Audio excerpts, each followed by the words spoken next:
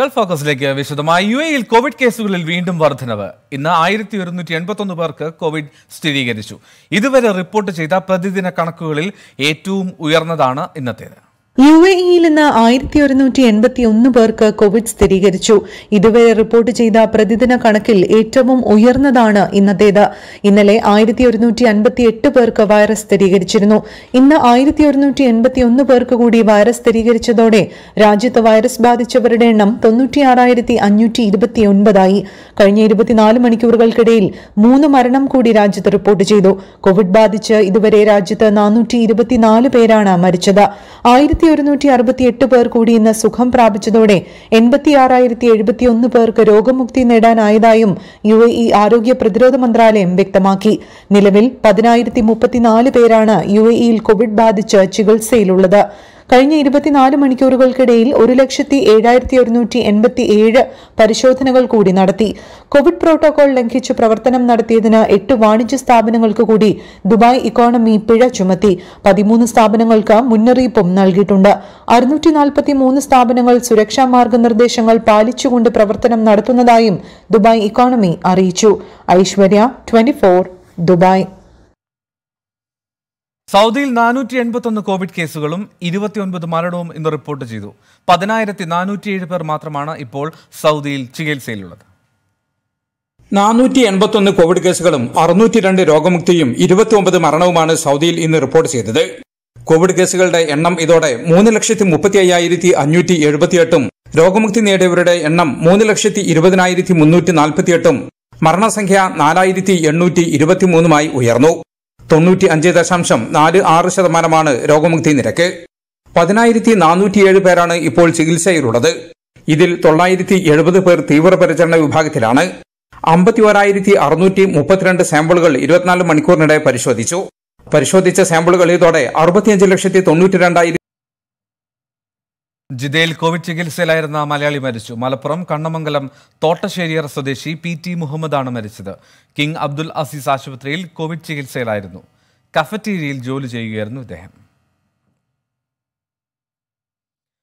ഉംറ നിർവഹിക്കാൻ ഒരു ലക്ഷത്തിലേറെ തീർത്ഥാടകർക്ക് അനുമതി പത്രം നൽകിയെന്ന് സൗദി ഹജ്ജ് ഉംറ മന്ത്രാലയം അറിയിച്ചു. ഇതിൽ പകുതിയിലേറെ പേരും സൗദിയിലെ വിദേശികളാണ്. മറ്റന്നാളാണ് ഉംറ കർമ്മം പുനരാരംഭിക്കുന്നത്. യാത്രമർണ എന്ന മൊബൈൽ ആപ്ലിക്കേഷൻ പ്രാബല്യത്തിൽ വന്ന് ഒരാഴ്ച പിന്നിട്ടപ്പോൾ മൂന്ന് ലക്ഷത്തി ഒമ്പതിനായിരത്തി അറുന്നൂറ്റി എൺപത്തിയാറ് പേർ ഉംറ നിർവഹിക്കാനായി അപേക്ഷ നൽകി. ഇതിൽ ഒരു ലക്ഷത്തി എണ്ണായിരത്തി നാൽപ്പത്തൊന്ന് തീർത്ഥാടകർക്ക് ഉംറ നിർവഹിക്കാനുള്ള അനുമതി പത്രം ഇഷ്യൂ ചെയ്തതായി സൗദി ഹജ്ജ് ഉംറ മന്ത്രാലയം അറിയിച്ചു. ഇതിൽ അറുപത്തി അയ്യായിരത്തി നൂറ്റി ഇരുപത്തിയെട്ട് പേർ സൗദിക്കകത്തുള്ള വിദേശികളാണ്. ആഭ്യന്തര തീർത്ഥാടകർക്ക് മാത്രമാണ് ആദ്യഘട്ടത്തിൽ ഉംറ നിർവഹിക്കാൻ അനുമതി നൽകുന്നത്. അനുമതി ലഭിച്ചവരിൽ മുപ്പത്തിയേഴായിരത്തി തൊള്ളായിരത്തി നാൽപ്പത്തൊമ്പത് പേർ സ്ത്രീകളാണ്. പതിനെട്ടിനും അറുപത്തിയഞ്ചിനും ഇടയിൽ പ്രായമുള്ളവർക്ക് മാത്രമാണ് ആദ്യഘട്ടത്തിൽ ഒമ്രക്ക് അനുമതി നൽകുന്നത്. ദിവസം ആറു ബാച്ചുകളായാണ് തീർത്ഥാടകർ ഒമ്ര നിർവഹിക്കുക. ഓരോ ബാച്ചിലും ആയിരം തീർത്ഥാടകരുണ്ടാകും.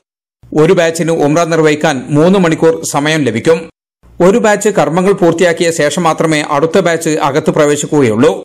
രാവിലെ ആറു മണിക്കും ഒമ്പത് മണിക്കും ഉച്ചയ്ക്ക് പന്ത്രണ്ട് മുപ്പതിനും വൈകുന്നേരം നാലു മണിക്കും രാത്രി ഒമ്പത് മണിക്കും പന്ത്രണ്ട് മണിക്കുമാണ് ഓരോ ബാച്ചും കർമ്മങ്ങൾ ആരംഭിക്കുക. തീർത്ഥാടകർക്ക് പള്ളിയിൽ പ്രവേശിക്കാൻ പ്രത്യേക വഴിയുണ്ടാകും.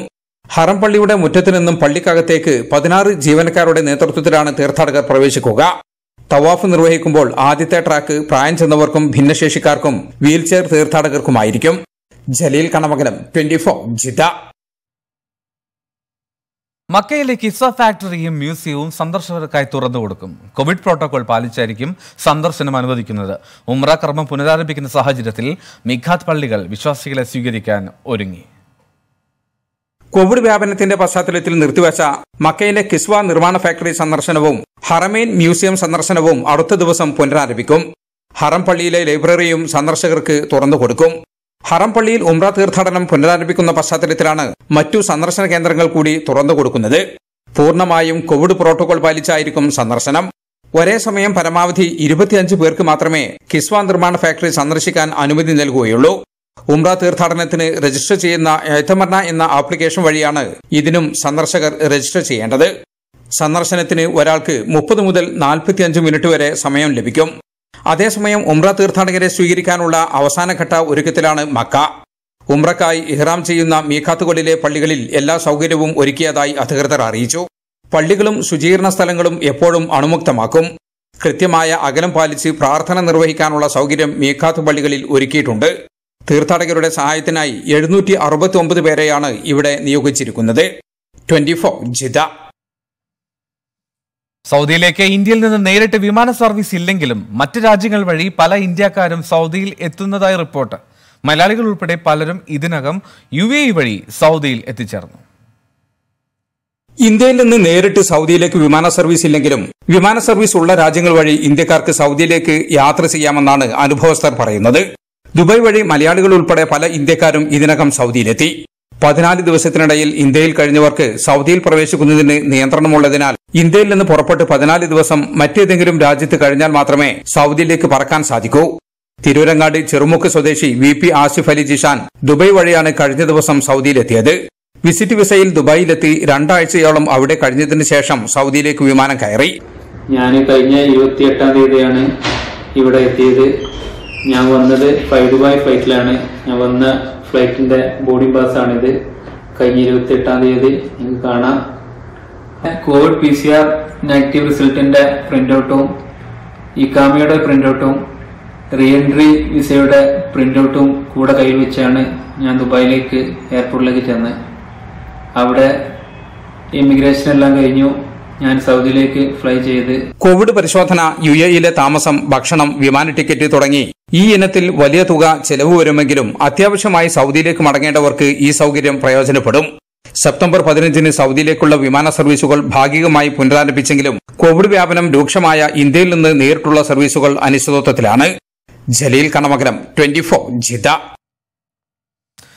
സൗദിയിൽ റിയൽ എസ്റ്റേറ്റ് മേഖലയിലെ ഇടപാടുകൾക്ക് വാറ്റ് ഒഴിവാക്കി. പതിനഞ്ച് ശതമാനം വാറ്റിനു പകരം അഞ്ചു ശതമാനം വിനിമയ നികുതി ഈടാക്കാനാണ് തീരുമാനം. റിയൽ എസ്റ്റേറ്റ് മേഖലയെ ശക്തിപ്പെടുത്താനും വീട് സ്വന്തമാക്കാൻ സ്വദേശികളെ സഹായിക്കുന്നതിനുമാണ് സൗദിയുടെ പുതിയ തീരുമാനം. ഈ മേഖലയിലെ ഇടപാടുകൾക്ക് പതിനഞ്ച് ശതമാനം മൂല്യവർദ്ധിത നികുതി ഈടാക്കിയിരുന്ന സ്ഥാനത്ത് ഇനി മുതൽ അഞ്ച് ശതമാനം വിനിമയ നികുതി അഥവാ റിയൽ എസ്റ്റേറ്റ് ട്രാൻസാക്ഷൻ ടാക്സ് മാത്രമേ ഈടാക്കുകയുള്ളൂ. വിൽപ്പന ഉടമസ്ഥാവകാശ കൈമാറ്റം തുടങ്ങി ഈ മേഖലയിലെ എല്ലാ ഇടപാടുകൾക്കും അഞ്ച് ശതമാനം നികുതി മാത്രമേ ഈടാക്കുകയുള്ളൂ എന്ന് ധനകാര്യമന്ത്രി മുഹമ്മദ് അൽ ജദാൻ പറഞ്ഞു. ഭരണാധികാരി സൽമാൻ രാജാവാണ് ഇതു സംബന്ധമായ ഉത്തരവിറക്കിയത്. സൗദികൾ ആദ്യമായി വീട് വാങ്ങുമ്പോഴുള്ള റിയൽ എസ്റ്റേറ്റ് ട്രാൻസാക്ഷൻ ടാക്സ് സർക്കാർ വഹിക്കും. പത്ത് ലക്ഷം റിയാൽ വരെയുള്ള തുകയാണ് സർക്കാർ വഹിക്കുക. രണ്ടായിരത്തി മുപ്പതാകുമ്പോഴേക്കും എഴുപത് ശതമാനം സ്വദേശികൾക്കും സ്വന്തം പേരിൽ വീടുണ്ടാവുകയാണ് ലക്ഷ്യം. ട്വന്റി ഫോർ ജിദ്ദ വികസന പ്രവർത്തനങ്ങളുടെ സമയത്ത് പാലിക്കേണ്ട സുരക്ഷാ വ്യവസ്ഥകൾ ഉൾക്കൊള്ളുന്ന പുതിയ ഗതാഗത ചട്ടങ്ങൾ അബുദാബി സമഗ്ര ഗതാഗത കേന്ദ്രം പുറത്തിറക്കി. മുൻകൂർ അനുമതിയില്ലാതെ പ്രവർത്തനങ്ങൾ ആരംഭിച്ചാൽ ഇനി മുതൽ കനത്ത പിഴ ശിക്ഷയായി നൽകും. വികസന പ്രവർത്തനങ്ങൾ നടക്കുമ്പോൾ സുരക്ഷാ സംവിധാനങ്ങൾ ഉറപ്പാക്കുക എന്ന ലക്ഷ്യത്തോടെയാണ് ഐ ടി സി പുതിയ ഗതാഗത ചട്ടങ്ങൾ പുറത്തിറക്കിയിരിക്കുന്നത്. Abu Dhabi Al Ain Al Dhafra എന്നിവിടങ്ങളിലാണ് ഇത് പ്രാബല്യത്തിൽ വന്നിരിക്കുന്നത്. ഗതാഗത മാറ്റം ആവശ്യമുള്ളതോ റോഡ് സുരക്ഷയെ ബാധിക്കുന്നതോ ആയ ഏതെങ്കിലും നിർമ്മാണ പ്രവർത്തനങ്ങൾ ഏറ്റെടുക്കുന്നതിന് മുൻപ് ഇനി മുതൽ ഐ ടി സിയിൽ നിന്ന് ട്രാഫിക് പെർമിറ്റ് നേടണം. മുൻകൂർ അനുമതിയില്ലാതെ നിർമ്മാണ പ്രവർത്തനങ്ങൾ ആരംഭിച്ചാൽ കനത്ത പിഴ ശിക്ഷ ലഭിക്കുമെന്ന് അധികൃതർ അറിയിച്ചു. W W W dot I T C dot G O V dot A E എന്ന വെബ്സൈറ്റ് വഴിയാണ് ട്രാഫിക് പെർമിറ്റ് നേടേണ്ടത്. ജോലി പൂർത്തിയായതിനു ശേഷം അടയാളങ്ങളും ഉപകരണങ്ങളും മാലിന്യവും കൃത്യമായി നീക്കം ചെയ്യണമെന്നും പ്രവർത്തനങ്ങൾക്കിടെ റോഡുകൾ ജലവൈദ്യുത സേവന ലൈനുകൾ റോഡ് ലൈറ്റിംഗ് ട്രാഫിക് ചിഹ്നങ്ങൾ മുതലായവയ്ക്ക് കേടുപാടുകൾ ഉണ്ടായാൽ നിർമ്മാണ കമ്പനി തന്നെ പരിഹരിച്ച് നൽകണമെന്നും അധികൃതർ നിർദ്ദേശിച്ചു. നിയന്ത്രണം നടപ്പാക്കുന്നത് നിരീക്ഷിക്കുന്നതിനായി പദ്ധതിയുടെ ഭാഗമായി പരിശീലനം ലഭിച്ച ഇൻസ്പെക്ടർമാരെ നിയോഗിക്കുമെന്നും ഐ വ്യക്തമാക്കി. Twenty Abu Dhabi. മഹാത്മാഗാന്ധിയുടെ നൂറ്റി അൻപത്തി ഒന്നാം ജന്മവാർഷിക ദിനത്തോടനുബന്ധിച്ച് ഖത്തറിലെ ഇന്ത്യൻ എംബസി അന്താരാഷ്ട്ര അഹിംസാ ദിനം ആചരിച്ചു. എംബസിക്ക് കീഴിലെ വിവിധ അപെക്സ് ബോഡി അധ്യക്ഷന്മാർ എംബസി ഉദ്യോഗസ്ഥർ എന്നിവർ പരിപാടിയിൽ സംബന്ധിച്ചു. കോവിഡ് പ്രോട്ടോകോൾ പാലിച്ചുകൊണ്ട് എംബസി പരിസരത്ത് നടന്ന ചടങ്ങിൽ Indian ambassador doctor Deepak Mittal ഗാന്ധിജിയുടെ ചിത്രത്തിൽ പുഷ്പങ്ങൾ അർപ്പിച്ചു. അംബാസഡറുടെ നേതൃത്വത്തിൽ എംബസി പരിസരത്ത് മരം വെച്ച് പിടിപ്പിച്ചു. നിരവധി പ്രവാസി പ്രതിനിധികൾ പങ്കെടുത്ത ഭജനയോടുകൂടിയാണ് ചടങ്ങിന് തുടക്കമായത്. ഗാന്ധിജി ഇന്ത്യൻ സ്വാതന്ത്ര്യ സമരത്തിന് നൽകിയ സംഭാവനകളും ഗാന്ധിയൻ ചിന്തകളും അംബാസഡർ ചടങ്ങിൽ പങ്കുവച്ചു. സമകാലീന ലോകത്ത് ഗാന്ധിജിയുടെ ആശയങ്ങൾക്കും തത്വങ്ങൾക്കും വലിയ പ്രസക്തിയുണ്ടെന്ന് അദ്ദേഹം പറഞ്ഞു.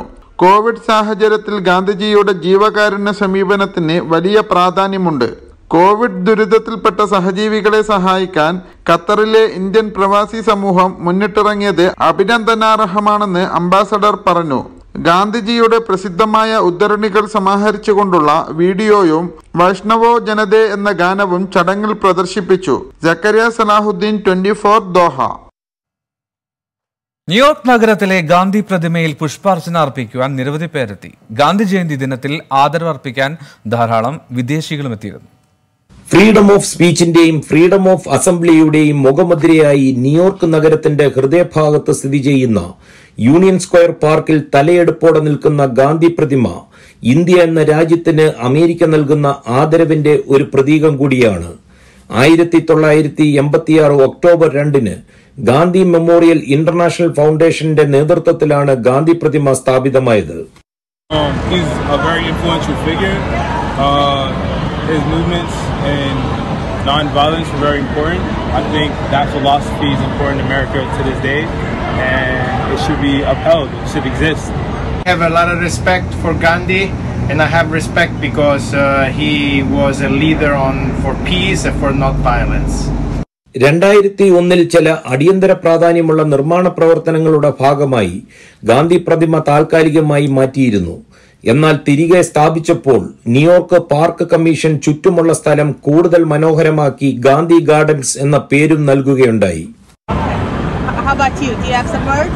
Uh, well, this is Union Square in New York City, so it's the, the only place where there is a, a non-US person um, as a statue in Union Square. New York ഉൾപ്പെടെ അമേരിക്കയിലെ വിവിധ നഗരങ്ങളിലെ ഗാന്ധി പ്രതിമകളിൽ ധാരാളം പേർ ഇന്ന് ഗാന്ധി ജയന്തി പ്രമാണിച്ച് പുഷ്പാഞ്ജലി നടത്തുകയുണ്ടായി ഫോട്ടോ പ്രദർശനം ഉൾപ്പെടെ ധാരാളം ഗാന്ധി അനുസ്മരണ യോഗങ്ങളും ഇന്ന് നടന്നു അമേരിക്കയുടെ ധീര യോദ്ധാക്കന്മാരോടൊപ്പമാണ് ഗാന്ധിയുടെ പ്രതിമ ഇവിടെ സ്ഥാപിച്ചിരിക്കുന്നത്. ന്യൂയോർക്കിൽ നിന്ന് റോഷ്നി അരുണിനോടൊപ്പം മധു കൊട്ടാരക്കര. ഗാന്ധി ജയന്തി ദിനത്തോടനുബന്ധിച്ച് ഇൻകാസ് ഗുരുവായൂർ നിയോജക മണ്ഡലം കമ്മിറ്റി ദുബായ് ക്രീക്കിൽ ഗാന്ധി സ്മൃതി ജലയാത്ര സംഘടിപ്പിച്ചു.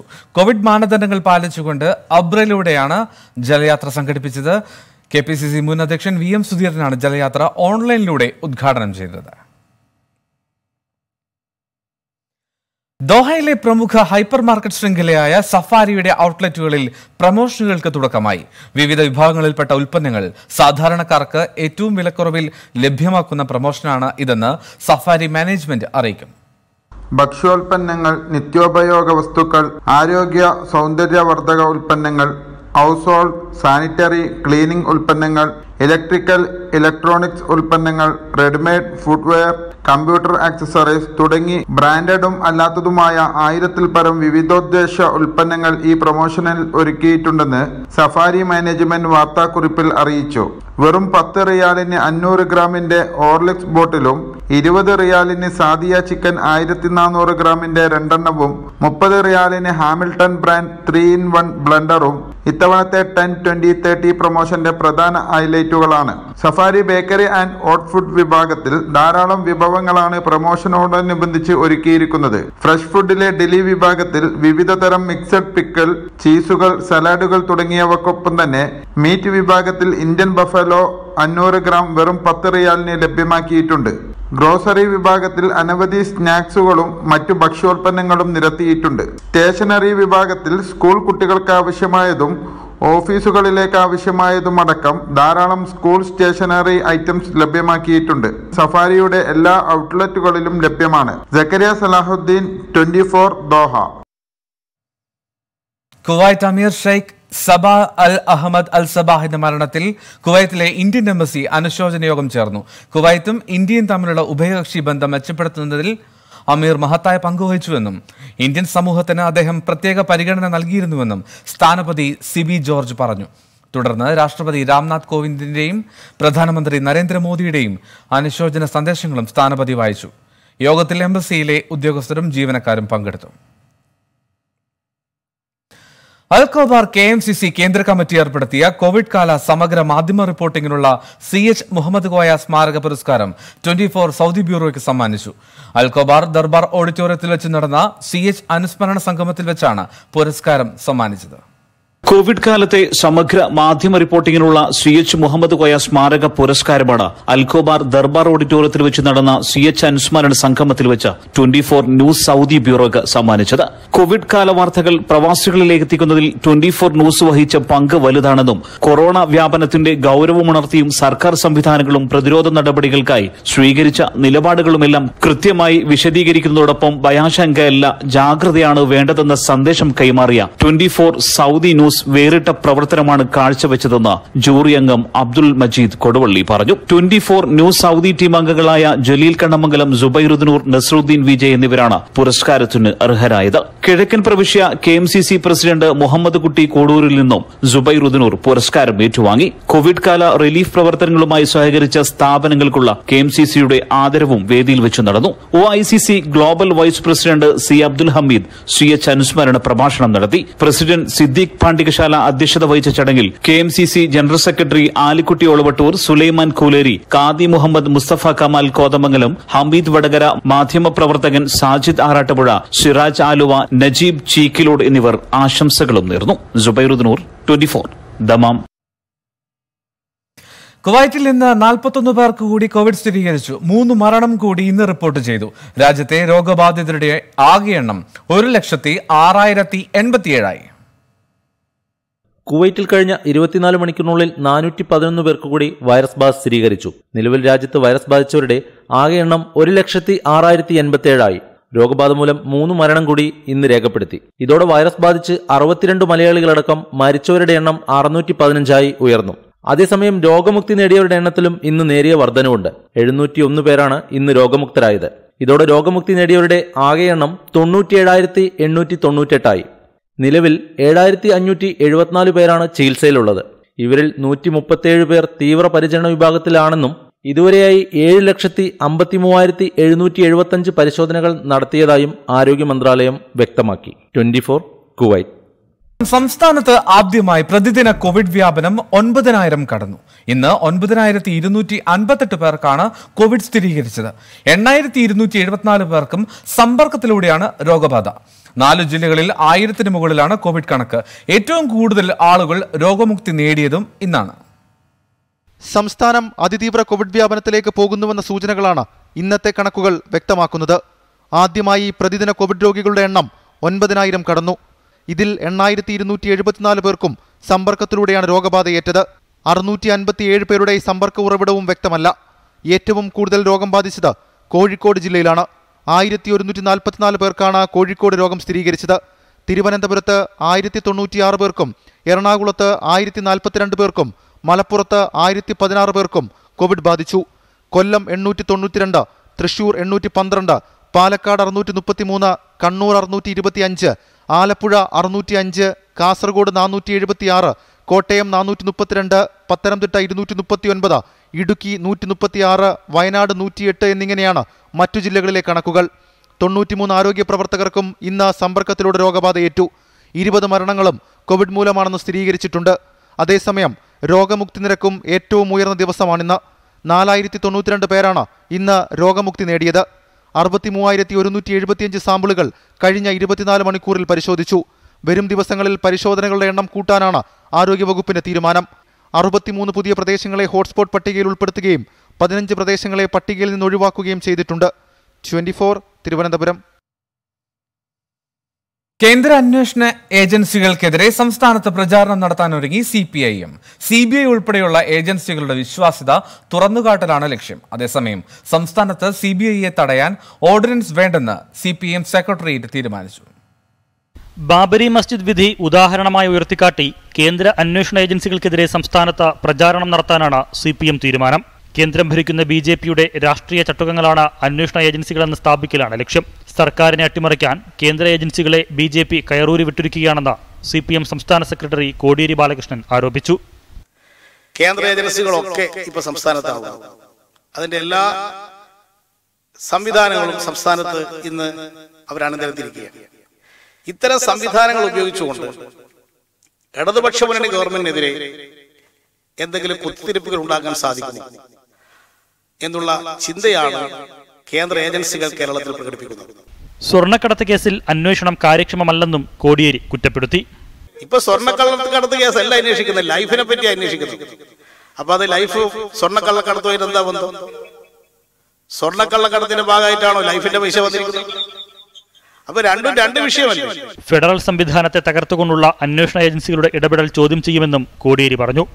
എന്നാൽ സി ബി ഐക്ക് കേരളത്തിലേക്ക് പ്രവേശനം നിഷേധിക്കാൻ ഒരുങ്ങുന്നുവെന്നത് വെറും പ്രചാരവേല മാത്രമാണെന്നും കോടിയേരി വ്യക്തമാക്കി. ട്വന്റി തിരുവനന്തപുരം. ഐഫോൺ വിവാദത്തിൽ നിന്ന് പ്രതിപക്ഷ നേതാവിനെ ഒഴിഞ്ഞു മാറാനാകില്ലെന്ന് സി പി എം സംസ്ഥാന സെക്രട്ടറി കോടിയേരി ബാലകൃഷ്ണൻ. പാരിതോഷികം സ്വീകരിച്ചു എന്നാരോപിച്ച് കെ ടി ജലീലിന്റെ രാജി ആവശ്യപ്പെട്ട ചെന്നിത്തലയ്ക്ക് കൊടുത്താൽ കൊല്ലത്തും കിട്ടുമെന്ന് ബോധ്യമായെന്നും കോടിയേരി പരിഹസിച്ചു. ഉപഹാരങ്ങൾ വാങ്ങി ശീലിച്ചവരാണ് നട്ടാൽ കുരുക്കാത്ത ആരോപണങ്ങൾക്ക് പിന്നിലെന്നായിരുന്നു രമേശ് ചെന്നിത്തലയുടെ ഇതിനുള്ള മറുപടി. ഐഫോൺ സ്വീകരിച്ചതിലൂടെ രമേശ് ചെന്നിത്തല പ്രോട്ടോകോൾ ലംഘിച്ചുവെന്ന കോടിയേരി ബാലകൃഷ്ണൻ. പ്രോട്ടോകോൾ ലംഘനത്തിന്റെ പേരിൽ മന്ത്രി കെ ടി ജലീൽ രാജിവെക്കണമെങ്കിൽ അത് ചെന്നിത്തലയ്ക്കും ബാധകമല്ല എന്നും കോടിയേരി. യു എ കോൺസുലേറ്റിൽ നിന്ന് ഈത്തപ്പഴം പഴം വാങ്ങുന്നതും ഖുറാൻ വാങ്ങുന്നതുമെല്ലാം പ്രോട്ടോകോൾ ലംഘനമാണ് എന്ന് പറഞ്ഞ പ്രതിപക്ഷ നേതാവ് എങ്ങനെയാണ് ഈ ഐഫോൺ ആ പരിപാടിക്ക് പോയി സ്വീകരിക്കുന്നത്? ഇത് പ്രോട്ടോകോളിന്റെ ലംഘനമല്ലേ? പ്രോട്ടോകോൾ ലംഘിച്ചതിന്റെ പേരിൽ ജലീൽ രാജിവെക്കണമെന്ന് ആവശ്യപ്പെട്ട പ്രതിപക്ഷ നേതാവ്. അങ്ങനെയാണെങ്കിൽ പ്രതിപക്ഷ നേതാവ് രാജിവെക്കണ്ടേ? അദ്ദേഹം പ്രോട്ടോകോൾ ലംഘിച്ചില്ലേ? മകനിലേക്ക് അന്വേഷണം നീളുന്നതിന്റെ വേവലാതിയാണ് കോടിയേരിക്കുന്ന ചെന്നിത്തലയുടെ മറുപടി. ആരോപണത്തിന് പിന്നിലെ സൂത്രധാരനെ മനസ്സിലായെന്നും ചെന്നിത്തല. എവരുടെ കയ്യിൽ നിന്നൊക്കെ ഐഫോൺ വാങ്ങേണ്ട ഗതികേട് ഏതായാലും ഇന്ന് എനിക്കില്ല. ഞാനൊരു കള്ളക്കടത്തുകാരനെയും കൂപ്പറി കയറിയിട്ടില്ല. ഞാനൊരു സ്വർണ കള്ളക്കടത്തുകാരനുമായി എനിക്ക് ബന്ധമില്ല. ഒരു മയക്കുമരുന്ന് കേസിലും എനിക്കോ എന്റെ കുടുംബാംഗങ്ങൾക്കോ ബന്ധമില്ല. ഇത്തരം കാര്യങ്ങൾ ചെയ്യുന്ന ആളുകൾ മറ്റുള്ളവരും ഇങ്ങനെയാണെന്ന് തെറ്റിദ്ധരിക്കുകയാണ്. ആ പണി എനിക്കില്ല. കൊടുത്താൽ കൊല്ലത്തും കിട്ടുമെന്ന കോടിയേരിയുടെ പരിഹാസത്തിന് ചെന്നിത്തലയുടെ മറുപടി ഇങ്ങനെ. കൊടുത്താൽ കൊല്ലത്ത് കിട്ടാൻ പോകുന്നതേ ഉള്ളൂ. കൊടുത്താൽ തിരുവനന്തപുരത്ത് തന്നെ കിട്ടുന്ന കാര്യം അല്ലെ ബാംഗ്ലൂരിൽ കിട്ടാൻ പോകുന്ന കാര്യം അടുത്ത ദിവസം നിങ്ങൾ അറിയും. കള്ളക്കടത്ത് കേസിലും സ്വർണ കേസിലും അതോടെ കൂപ്പർ കേസിലും അതുപോലെ തന്നെ മയക്കുമരുന്ന് കേസിലും പെടുത്ത ഒരു പാർട്ടി സെക്രട്ടറി പി കൃഷ്ണപിള്ളയുടെയും ഇ എം എസിന്റെയും കസേരയിൽ ഇരിക്കുന്നതിനകത്ത് നല്ല നമസ്കാരം. ഐഫോൺ വിവാദത്തിൽ ഡി ജി പിക്ക് പരാതി നൽകിയിരിക്കുകയാണ് Ramesh Chennithala. I M E I number ഉപയോഗിച്ച് ആരാണ് ഇപ്പോൾ ഫോൺ ഉപയോഗിക്കുന്നതെന്ന് കണ്ടെത്തണമെന്ന് പരാതിയിൽ ആവശ്യപ്പെട്ടു. ഫോൺ കൈപ്പറ്റിയെന്ന ആരോപണം നിഷേധിച്ച ചെന്നിത്തല സന്തോഷിപ്പിനെതിരെ നിയമ നടപടി സ്വീകരിക്കുമെന്നും വ്യക്തമാക്കി. ട്വന്റി ഫോർ തിരുവനന്തപുരം പോലീസിൽ നിന്ന് കടുത്ത സമ്മർദ്ദമുണ്ടെന്ന് ഹത്രാസിൽ കൊല്ലപ്പെട്ട പെൺകുട്ടിയുടെ ബന്ധുവിന്റെ വെളിപ്പെടുത്തൽ. ഫോണുകൾ പോലീസ് പിടിച്ചെടുത്തതായും ബന്ധുവായ കുട്ടി പറഞ്ഞു. മാധ്യമങ്ങളോട് സംസാരിക്കവേ പോലീസിനെ കണ്ട് കുട്ടി ഭയന്നോടി. പോലീസിന്റെ കണ്ണു വെട്ടിച്ചാണ് പെൺകുട്ടിയുടെ അച്ഛന്റെ സഹോദരന്റെ മകൻ രഹസ്യമായി എത്തി മാധ്യമങ്ങളോട് പ്രതികരിച്ചത്. കുടുംബം അനുഭവിക്കുന്ന കടുത്ത സമ്മർദ്ദം വെളിപ്പെടുത്തി उनको दी नहीं थी वो बॉडी तो मा- बर्फ में लग रही है हमने किसी और की बॉडी को आग लगा दी है जी वो പോലീസിന്റെ ഭാഗത്തു നിന്ന് ഭീഷണിയുണ്ടെന്നും വ്യക്തമാക്കി കഴിഞ്ഞ ദിവസം ജില്ലാ മജിസ്ട്രേറ്റ് വീട്ടിലെത്തി മൊഴിമാറ്റാൻ ഭീഷണിപ്പെടുത്തിയ ശേഷമുള്ള കുടുംബത്തിന്റെ ആദ്യ പ്രതികരണമാണിത്. മാധ്യമങ്ങളോട് പ്രതികരിക്കവേ പോലീസിനെ കണ്ട് ബന്ധു തിരികെ ഗ്രാമത്തിലേക്ക് ഓടി രക്ഷപ്പെട്ടു. മോഹൻ മോഹൻ. ഇരയുടെ കുടുംബത്തിന്റെ അവസ്ഥയാണ് ഇവിടെ നിന്ന് കണ്ടത്. നീതി നൽകേണ്ട പോലീസ് വേട്ടക്കാരായി മാറുന്നതാണ് സാഹചര്യം. ഹത്രാസിൽ നിന്ന് ക്യാമറാമാൻ മോഹൻകുമാറിനൊപ്പം നിതിൻ അംബുജൻ ട്വന്റി സർക്കാർ സഹായം ലഭിക്കാതെ സിനിമാ പ്രദർശനം തുടങ്ങില്ലെന്ന തിയേറ്റർ ഉടമകൾ ചലച്ചിത്ര മേഖലയ്ക്ക് പാക്കേജ് വേണം. വിനോദ നികുതിയും പൂട്ടിക്കിടക്കുന്ന സമയത്തെ വൈദ്യുതി ചാർജും ഒഴിവാക്കണമെന്നും ഫിലിം എക്സിബിറ്റേഴ്സ് ഓർഗനൈസേഷൻ ആവശ്യപ്പെട്ടു. ഇരുന്നൂറ്റി അഞ്ച് ദിവസമായി തിയേറ്ററുകൾ അടഞ്ഞുകിടക്കാൻ തുടങ്ങിയിട്ട് വരുമാനമില്ലാഞ്ഞിട്ടും ഉപകരണങ്ങൾ സംരക്ഷിക്കാനും മറ്റുമായി വൻതുക ഇപ്പോഴും ചെലവാകുന്നുണ്ട്. ഒക്ടോബർ പതിനഞ്ചിന് തിയേറ്റർ തുറക്കാമെന്ന് കേന്ദ്രം നിർദ്ദേശിച്ചെങ്കിലും സംസ്ഥാന സർക്കാർ സമഗ്രമായ ചലച്ചിത്ര പാക്കേജ് അനുവദിക്കാതെ പ്രദർശനം തുടങ്ങാനാവില്ലെന്ന് തിയേറ്റർ ഉടമകൾ. കേരള ഗവൺമെന്റ് ഉടൻ തന്നെ ഒരു തീരുമാനമെടുക്കുമെന്ന് ഞങ്ങൾ പ്രതീക്ഷിക്കുന്നു. പക്ഷേ പല പ്രാവശ്യമായിട്ട് ഞങ്ങൾ പല കാര്യങ്ങളും ഒരു പാക്കേജ് വേണമെന്നുള്ള രീതിയിൽ ഗവൺമെന്റ് ശ്രദ്ധയിൽപ്പെടുത്തിയിട്ടുണ്ട്. എങ്കിലും ഇതുവരെ അതിനെപ്പറ്റിയൊരു മറുപടിയോ കാര്യങ്ങളോ നമുക്ക് കിട്ടിയിട്ടില്ല. അങ്ങനെ കിട്ടാതിരുന്നാൽ തന്നെ സിനിമാ തിയേറ്റർ തുറന്ന് പ്രവർത്തിക്കാൻ സാധിക്കാത്ത ഒരു സ്ഥിതിയിലാണ് ഇപ്പോൾ തിയേറ്ററുകാരുടെ നിൽപ്പ്. തിയേറ്റർ അടഞ്ഞുകിടക്കുമ്പോഴും ഏർപ്പെടുത്തിയ വൈദ്യുതി ഫിക്സഡ് ചാർജും ഒരു വർഷത്തേക്കുള്ള കെട്ടിട നികുതിയും ഒഴിവാക്കണം. കടമെടുത്ത് തിയേറ്റർ നവീകരിച്ചവർക്ക് പലിശ ഇളവ് ലഭിക്കാൻ സർക്കാർ ഇടപെടണമെന്നും സംഘടന ആവശ്യപ്പെട്ടു. കോവിഡിന് മുൻപ് പുറത്തിറങ്ങിയ ചിത്രങ്ങൾക്ക് ഇരുപത്തിയഞ്ച് കോടി രൂപ വിതരണക്കാർക്ക് നൽകാനുണ്ടെന്ന നിർമ്മാതാക്കളുടെ പരാതിക്ക് പതിനേഴ് കോടി രൂപ തങ്ങൾക്ക് ലഭിക്കാനുണ്ടെന്നാണ് തിയേറ്റർ ഉടമകളുടെ മറുപടി. ഒ ടി ടി റിലീസ് ചെയ്യുന്ന ചിത്രങ്ങൾ തിയേറ്ററുകളിൽ പ്രദർശിപ്പിക്കില്ലെന്നും ഫിലിം എക്സിബിറ്റേഴ്സ് ഓർഗനൈസേഷൻ വ്യക്തമാക്കി. Twenty four Kochi. ലോകത്തെ ഏറ്റവും ദൈർഘ്യമേറിയ ഹൈവേ തുരങ്കമായ അടൽ ടണൽ ശനിയാഴ്ച പ്രധാനമന്ത്രി നരേന്ദ്രമോദി രാഷ്ട്രത്തിന് സമർപ്പിക്കും. മണാലിയെയും ലഹൌൽ താഴ്വരയെയും ബന്ധിപ്പിക്കുന്ന ടണലിന്റെ നീളം ഒൻപത് പോയിന്റ് പൂജ്യം രണ്ട് കിലോമീറ്ററാണ്. ഇരുകവാടങ്ങളിലും സുരക്ഷാ പരിശോധനാ സംവിധാനങ്ങൾ എല്ലാ നൂറ്റി അൻപത് മീറ്ററിലും ടെലിഫോൺ സംവിധാനം അറുപത് മീറ്ററിൽ അഗ്നിശമന ഉപകരണം ഓരോ ഇരുന്നൂറ്റി അൻപത് മീറ്ററിലും സി സി ടി വി ക്യാമറകൾ എല്ലാ കിലോമീറ്ററിലും വായു ഗുണനിലവാര പരിശോധന ഓരോ ഇരുപത്തിയഞ്ച് മീറ്ററിലും ഇവാക്യുവേഷൻ ലൈറ്റിംഗ് എല്ലാ അൻപത് മീറ്ററിലും അഗ്നിബാധയേൽക്കാത്ത ഡാമ്പറുകൾ ഇങ്ങനെ നീളുന്നു അടൽ ടണലിന്റെ പ്രത്യേകത. രണ്ടായിരത്തി രണ്ട് മെയ് ഇരുപത്തിയാറിന് ദക്ഷിണ പോർട്ടിലേക്കുള്ള അപ്രോച്ച് റോഡിന്റെ ശിലാസ്ഥാപനം നടത്തി പ്രധാനമന്ത്രിയായിരുന്ന സമയത്ത് അടൽ ബിഹാരി വാജ്പേയിയാണ് പദ്ധതിക്ക് തുടക്കം കുറിച്ചത്. പിന്നീട് ഈ പദ്ധതിക്ക് അതുകൊണ്ട് തന്നെ അദ്ദേഹത്തിന്റെ പേരും വന്നു. കനത്ത മഞ്ഞുവീഴ്ച കാരണം വർഷത്തിൽ ആറുമാസം ഈ താഴ്വരയിലേക്കുള്ള യാത്ര റദ്ദാക്കുന്നതിന് തുരങ്കം വരുന്നതോടെ ശാശ്വത പരിഹാരമാകും. ലേ മണാലി റോഡിന്റെ ദൂരം നാൽപ്പത്തിയാറ് കിലോമീറ്റർ കുറയുമെന്നതാണ് തുരങ്കത്തിന്റെ പ്രധാന മേന്മ. ലോകത്തെ ഏറ്റവും ദൈർഘ്യമേറിയ ഹൈവേ തുരങ്കമായ അടൽ ടണലിന്റെ നിർമ്മാണ ചുമതല ബോർഡർ റോഡ് ഓർഗനൈസേഷൻ ആയിരുന്നു Malayali chief engineer K P പുരുഷോത്തമനായിരുന്നു ഇതിന്റെ നേതൃത്വം നിർവഹിച്ചത്. പത്ത് ദശാംശം അഞ്ച് മീറ്റർ വീതി തുരങ്കത്തിനുണ്ട്. സമുദ്രനിരപ്പിൽ നിന്നും മൂവായിരം മീറ്റർ ഉയരത്തിലുള്ള ഹിമാലയത്തിലെ പീർ പഞ്ചാൽ റേഞ്ചിലാണ് തുരങ്കം. R Radhakrishnan twenty Delhi. കൂടുതൽ വാർത്തകൾക്കും വിശേഷങ്ങൾക്കുമായി twenty four news dot com സന്ദർശിക്കുക. ഗൾഫ് ഫോക്കസിലൂടെ പൂർണമാകുന്നു നമസ്കാരം This is 24 from Flowers Group.